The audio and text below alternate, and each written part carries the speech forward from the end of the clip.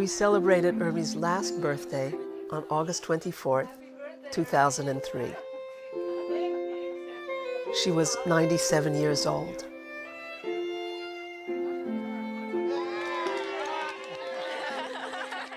She really came alive when she was with people.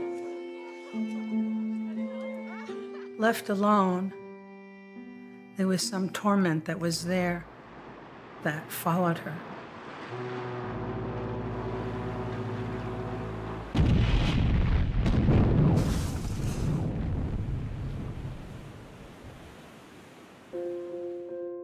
I was born in 1906 into a comfortable Jewish family in Germany.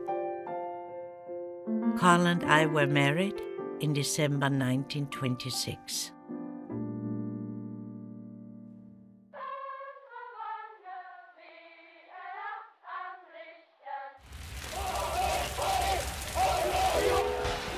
We finally woke up to the truth that we would all have to leave Europe as soon as possible.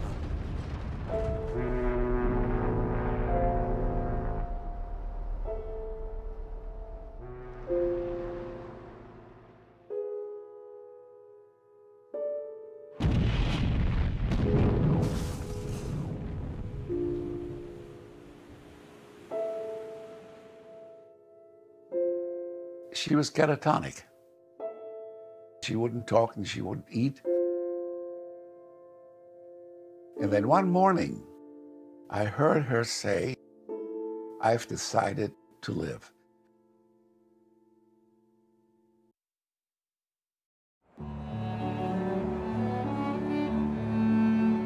I fell in love with the bustle of New York. And then I fell in love.